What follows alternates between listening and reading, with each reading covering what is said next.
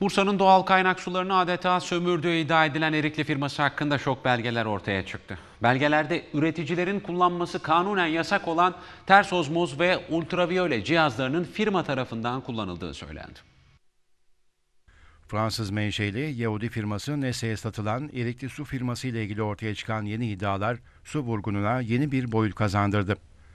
Ortaya çıkan yeni belgelere göre doğal kaynak su üreticilerinin kullanması kanunen yasak olan reverse osmos ve ultraviyole cihazlarının Erikli tarafından kullanıldığı ispat edildi.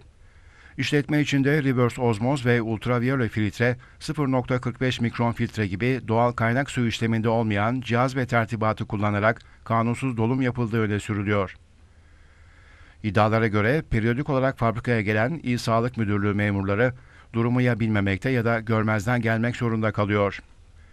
Zira daha önce çalışanların ihbarları üzerine yapılan baskınların bir şekilde sonuçsuz kaldığı, bulunan cihaz ve tertibatın suç teşkil etmesine rağmen olayın üzerinin örtüldüğü belirtiliyor.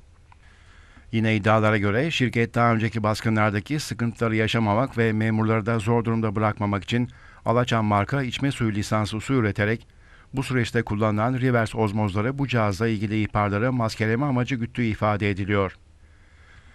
İşte haber merkezine ulaşan belgelerde dile getirilen iddialar. Şirketin Erikli ve Nestle Pure Life markalarıyla yaptığı üretimle işlem açısından farkı yoktur. Şöyle ki, Erikli ve Nestle Pure Life markaları da reverse osmoz cihazları kullanılarak üretilmektedir. Fakat tabii ki bu reverse osmoz cihazları gizlenmektedir.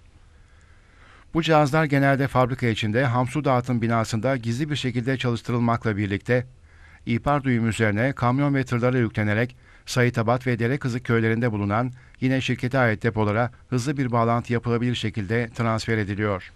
Nitekim maksatlı ihbar üzerine 15-22 Ağustos 2016 tarihler arasında reverse osmoz cihazları yerlerinden gizli bir operasyonla tedarikçi Global Process Özgür Tatar yardımıyla sökülmüş, tırlar üzerine konulan 4 adet cihaz Sayıtabat'taki fabrikaya götürülmüş, yer altına saklanan UV cihazlarının da sökülmesi dolayısıyla bu tarihler içinde üretim kısmen veya tamamen durdurulmuş ve bu periyotta makine bakımı yapılmıştır. Daha sonra 19 Ağustos 2016 tarihinde cihazlar fabrikaya geri getirilmiş ve büyük bir ihtimalle yeniden bağlantı yapılmıştır. Fabrikanın her yeri asfalt olmasına karşın ultraviyole ve kaçak boruların olduğu bölge kolay söküm ve bakım için kilit taşlı şekilde yapılmıştır. Uludağ fabrika ve diğer lokasyonlardaki sondaj ve kaçak su bağlantılarının yerini sadece ilgili kişiler bilmektedir. Bu kişiler tüm cihaz ve sistemlerin çalıştırılmasından da sorumlu tutulmuştur. Ayrıca tedarikçilerin yapacağı montaj, borulama, kaynak gibi çalışmalar stratejik tedarikçi kodu altında ihalesiz yapılmaktadır. Burada maksat minimum sayıda tedarikçinin bu konuyu bilmesini sağlamaktır. Bu firmalarda yapılan işlerin kanunsuz olduğunu bilmektedir.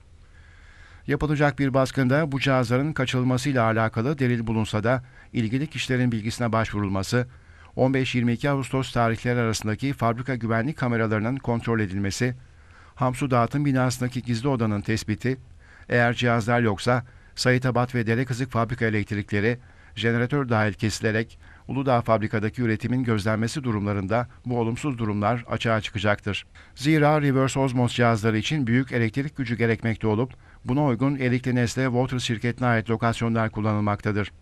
Borular yardımıyla tesislerden su aktarımı yapılmaktadır. Baskın esnasında eğer üretim düşük sezon olan sonbahar kışta olursa bu cihazlar çalıştırılmayıp Alaçam markası için yedek cihazlardır şeklinde açıklamalar öne sürülebilir. Tüm bu konular aslında iyi sağlık müfettişlerinden ziyade kolluk kuvvetleri ve savcılık aracılığıyla ortaya çıkarılabilir. Dolayısıyla Erikli Nesle Uludağ fabrikasında su kaynakları ve su prosesleri sorumluları dinlenerek sonuca ulaşılabilir. Ayrıca stratejik tedarikçiler Global Proses Özgür Tatar, Kuantum Mühendislik, Murat Güneşli, Karşen İnşaat, Vuralçen dinlenilmesi ve bu konuların sorulması elzemdir. Ayrıca fabrikada bakım atölyesinde çalışan iki kişinin aleni şekilde FETÖ propagandası yaptığı da ileri sürülmekte. Buna rağmen her şeyden haberi olan insan kaynakları bu kişilere hiçbir şekilde müdahale etmemiştir. 17-21 Aralık'tan sonra 15 Temmuz'a kadar bu iki kişi özellikle HDP'ye destek faaliyeti başta olmak üzere tüm hükümet karşıtı fikirlerini sistemli şekilde yaymıştır. 15 Temmuz işgal hareketi sonuçsuz kalınca Facebook hesaplarındaki delilleri de silmişlerdir. Bu iki kişinin ismi SA ve AA'dır. SA çok faal durumda olup AA ona yardımcı olmuştur. Bu kişiler yukarıda sayılı tedarikçiler başta olmak üzere çoğu üst kademe müdürden yardım maksadıyla ani ve nakdi karşılık alıp bu miktarları himmet olarak FETÖ'ye aktarmıştır.